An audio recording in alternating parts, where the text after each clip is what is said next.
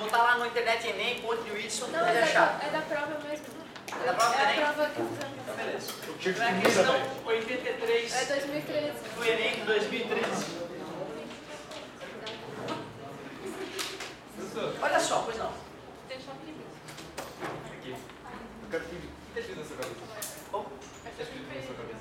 Mentira, tá escrito mentira. Ô, Paulo. Tá dizendo que eu tenho, eu não tenho trabalho, que eu não tenho dinheiro, que eu não tenho carro, mas que eu tô numa banda.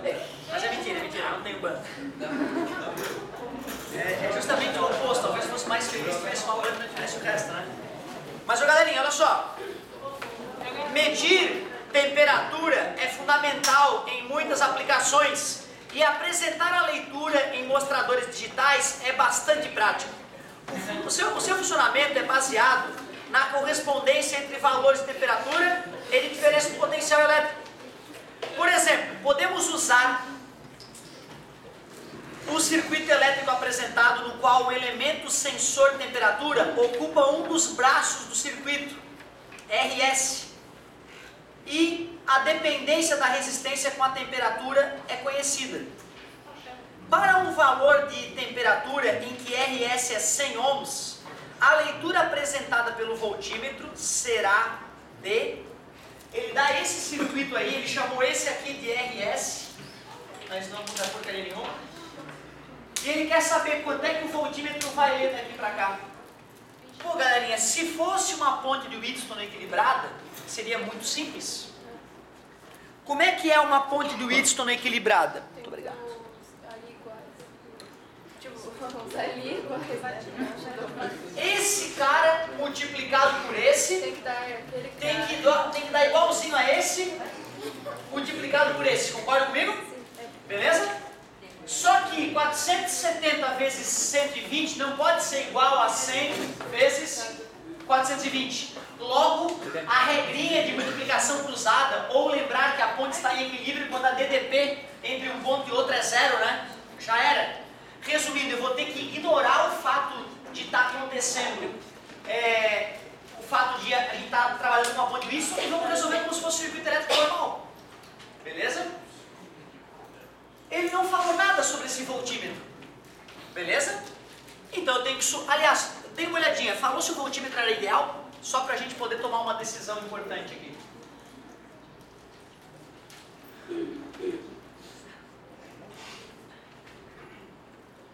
Não falava nada, né? Certo? Se ele não falava nada sobre o voltímetro, eu vou ter que supor que ele é perfeito. Qual era a característica de um voltímetro perfeito? Se eu quiser calcular a DDP atuando nesse resistor, primeiro, como é que eu vou conectar? Eu vou conectar em série ou em? Paralelo. Obrigado, eu vou conectar em paralelo.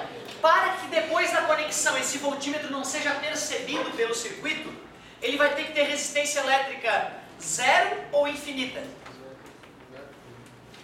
Se ele tiver resistência elétrica zero, a corrente elétrica passa toda pelo voltímetro e deixa de passar pelo resistor.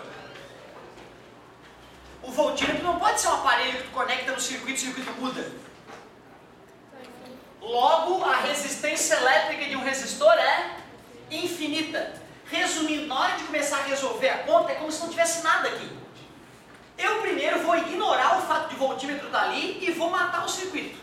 Depois que eu descobrir o I em todo mundo, que eu já tiver matado o circuito, aí eu vou calcular a diferença de potencial daqui para cá e a diferença de potencial daqui para cá, V igual a R vezes I. Já vou saber o I que vem pela esquerda e o I que vem pela direita, certo?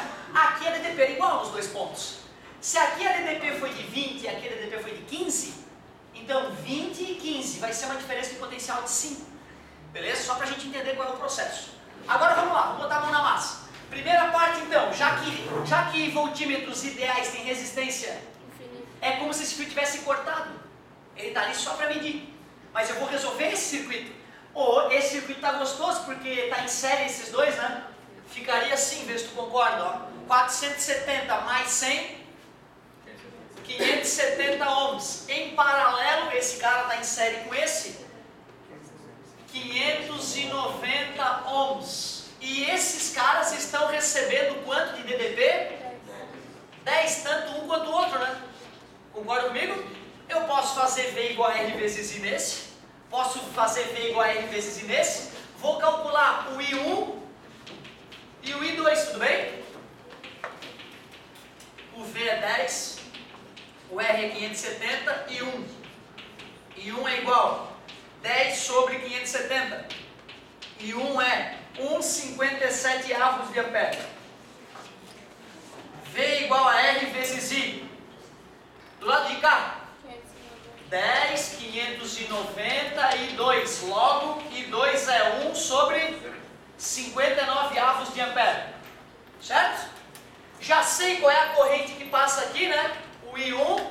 E sei a corrente que passa aqui, né? O I2. Dá para calcular DDP nesse cara aqui, né? Vou chamar de V1.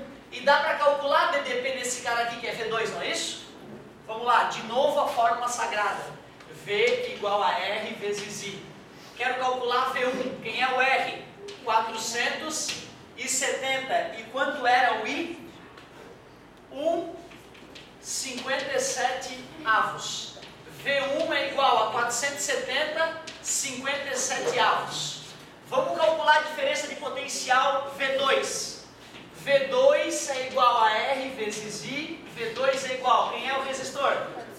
470. Quem é a corrente 2? 1,59 avos. V2 é igual 470, 59 avos. Como é que eu vou achar a diferença de potencial entre o ponto, vamos chamar de ponto 1 e ponto 2? Como é que eu vou achar essa DDP aqui, que é o que o voltímetro está medindo, né?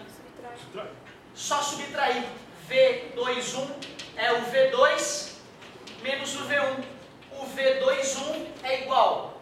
Aliás, ó, cuidado, hein? Essa polaridade do resistor vai influenciar na brincadeira, tá? Como é que estava a polaridade? Era mais e menos, né? Certo? No desenho estava mais e menos. Se tivesse o contrário, menos e mais, muda. Quando a gente pega um voltímetro, eu estou medindo uma bateria de 12 volts. Eu boto ali 12 volts. Se eu inverto, dá menos 12. Beleza? Talvez fosse a parte mais delicada, na verdade, da questão. Porque até aqui eu usei V igual a R vezes duas vezes, né? E calcular a diferença, eu estou calculando V2 menos V1. Porque eu sei que V2 tem uma, uma tensão maior. Beleza? Para ficar positiva, estou fazendo isso.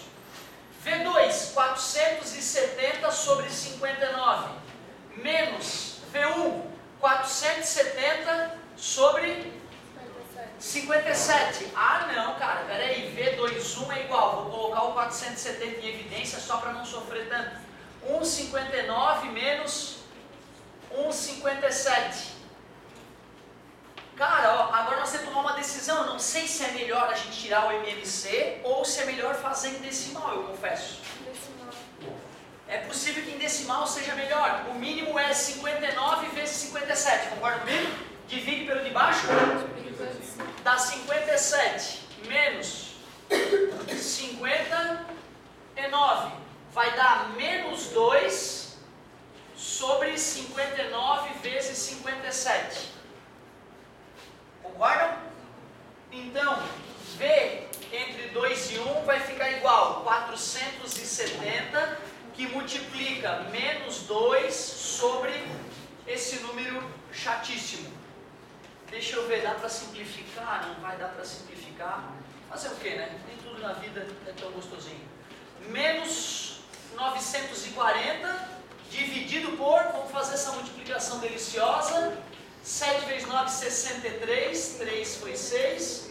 35 com 6, 41. 5 vezes 9, 45 foi 4. 5 vezes 5, 25 mais 4. 29, 3, 6, 13 foi 1. 3. 3, 3, 6, 3. V21 é igual a menos. Como é que faz a divisãozinha mesmo? 940 dividido por 3363, 0, vai 0. 2, 3 estoura, né? 2, mas vai dar 6 e pouco, e depois vai dar um número bem grande, né? Quais são os valores possíveis lá? É 0,3 respostas. Tem, tem, mas, mas lê os outros só pra gente ver se valeria a pena a gente botar mais casas após a vírgula. É, se- é, tem daí mais menos, né? 6.2, 1.7, 0.3. É o único que tem o 03. Beleza. Aí, ó, o importante é a gente ver qual é a DDP aqui, né? Porque se ele tiver nessa situação com mais aqui, com menos aqui, ele vai ler o valor que a gente calculou. Mas se inverter, ele vai ler positivo. Certo? E tinha o mais e menos 0,3? Aham. Deixa eu dar uma olhadinha. Era o menos, tá certo. Exatamente, mas tu vê, galera, o que é perigoso é isso. Se nós trocarmos a DDP ali, eu teria que fazer V1 menos V2 para calcular a leitura do voltímetro. E isso trocaria o sinal, certo? Então deu menos aproximadamente 0,3. Aproximadamente 0,3. Qual era a letrinha? Que era a letra D. D. É isso? Show de bola, muito obrigado. Altas questãozinhas. São todas assim do Enem, galerinha? Isso é uma exceção, por enquanto. A colega estava comentando, professor, o Enem começou a ficar difícil, né? Claro, eles estão querendo fazer uma prova única para o país todo. Imagina tu conseguir separar os ninjas do país, certo? Eu fiz um comentário, fiz uma questão, do, eu comecei uma questão de Olimpíada de Física na outra sala ali. Uma coisa interessante. O... É importante tu saber que no Brasil existem muitos alunos que são muito melhor resolvedores de questão de física e matemática do que eu. Como pode isso, professor? Não tem alguma coisa errada? Não, não tem nada de errado. Eu trabalho. O cara estuda. Ele estuda 20 horas por semana e pode ir fora da sala de aula e estudar o que ele tiver prazer. Se ele é um tarado por física e matemática, desde eternidade ele está baixando as provas, Olimpíadas de Física e Matemática na internet, fazendo, se deliciando com isso, indo muito além do que o professor vai na sala de aula e do que o professor vai na vida dele. Porque o professor geralmente tem que estudar, ensinar a parte básica.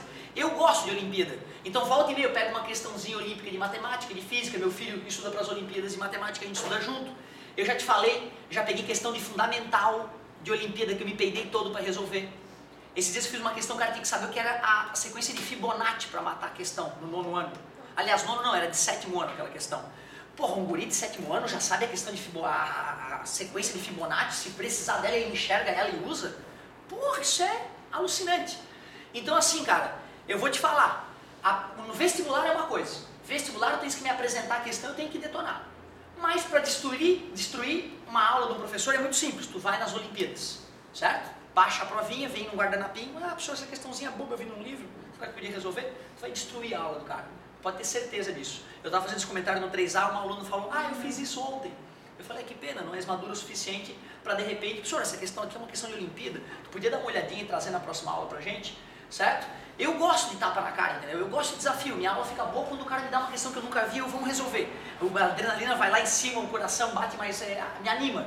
Mas não é todo mundo que gosta disso, então tem que tomar cuidado. Essas questõezinhas que nós fizemos aqui, é de nível alto para o Enem atual, né? Mas, como nós estamos começando agora a querer mapear o Brasil todo com uma única prova, a tendência é piorar. É possível que comece a cair mais questões elaboradas e menos questões bobinhas. Por que, que não vão ser todas assim? Tempo. Eu demorei mais de 5 minutos para resolver a questão. Claro, fizemos comentários, fizemos light. Se eu demorei 5 minutos nessa, como eu tenho 3 minutos por questão, outras eu vou ter que fazer em um minuto. Certo? Então também não vai ser todas assim. Mas eu confesso que para o Enem pegaram pesado. Tá bonito, tá bonito, gostei de ver. Vou fazer uma outra questão que foi pedida por um colega aí que tem a ver com essa matéria. É a título de revisão até agora, depois a gente volta para os capacitores.